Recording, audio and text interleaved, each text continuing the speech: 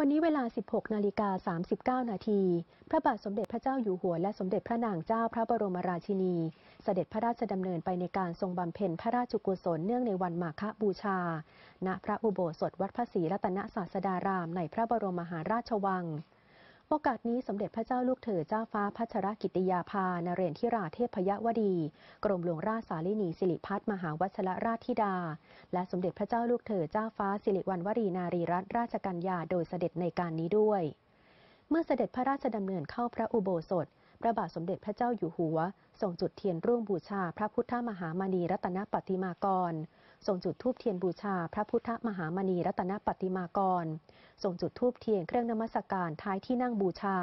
บูชาพระพุทธยอดฟ้าจุฬาโลก และพระพุทธเลิศหล้านภาลัย จากนั้นทรงจุดธูปเทียนเครื่องนมัสการทองใหญ่ที่หน้าธรรมาสน์ศิลา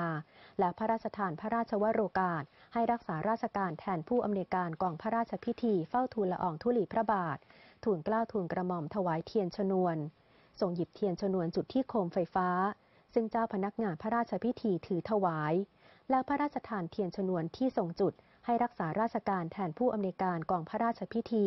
เชิญไปถวายเจ้าอาวาสพระอารามหลวง จุดเทียนรุ่งที่ทรงพระราชอุทิศพระราชทานห้าพระอาราม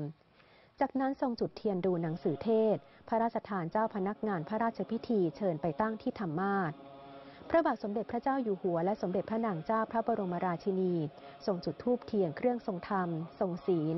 พระเทพเจติยาจารย์วัดโสมนัสวิหารถวายศีล และถวายพระธรรมเทศนา จบแล้วทรงหลังทักษิโนทก แล้วส่งพระดำเนินไปทรงประเคนจตุปัจจัยทยธรรม ถวายพระเทศ และพระสงฆ์ที่เจริญพระพุทธมนต์วันมาฆบูชาเป็นวันสำคัญทางพระพุทธศาสนา เป็นวันที่สมเด็จพระสัมมาสัมพุทธเจ้าทรงแสดงโอวาทปาติโมกท่ามกลางที่ประชุมมหาสังฆสันนิบาต มีเหตุการณ์เกิดขึ้นพร้อมกัน 4 ประการ คือพระสงฆ์ 1,250 รูปประชุมพร้อมกันโดยไม่ได้นัดหมาย พระสงฆ์ที่ประชุมทั้งหมดเป็นเอหิภิกขุอุปสัมปทา หรือผู้ได้รับการอุปสมบทจากพระพุทธเจ้า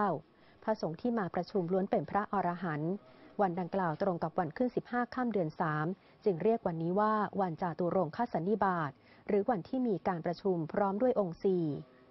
การบำเพ็ญพระราชกุศลเนื่องในวันมาฆบูชา เริ่มครั้งแรกในสมัยพระบาทสมเด็จพระจอมเกล้าเจ้าอยู่หัวรัชกาลที่ 4 ทรงปรารภถึงเหตุการณ์ครั้งวันเพ็ญเดือนสามว่า เป็นวันที่เกิดเหตุการณ์สำคัญ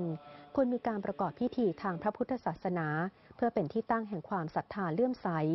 จึงทรงพระกรุณาโปรดเกล้าโปรดกระหม่อม ให้จัดการพระราชกุศลมาฆบูชาขึ้น มีการบำเพ็ญพระราชกุศลต่างๆ การพระราชทานจุดเทียนตามประทีปเป็นพุทธบูชา ในช่วงแรกพิธีมาฆบูชา เป็นการพระราชพิธีภายใน ต่อมาความนิยมได้ขยายออกไป ปัจจุบันพระบรมวงศ์พระสงฆ์และประชาชนจะประกอบพิธีต่างๆ เนื่องในวันสำคัญนี้ เช่นตักบาตรฟังพระธรรมเทศนา เพื่อเป็นการบูชาและระลึกถึงหลักคำสอน อันเป็นหัวใจของพระพุทธศาสนา คือการไม่ทำความชั่วทั้งปวงบำเพ็ญความดีและทำจิตของตนให้ผ่องใสบริสุทธิ์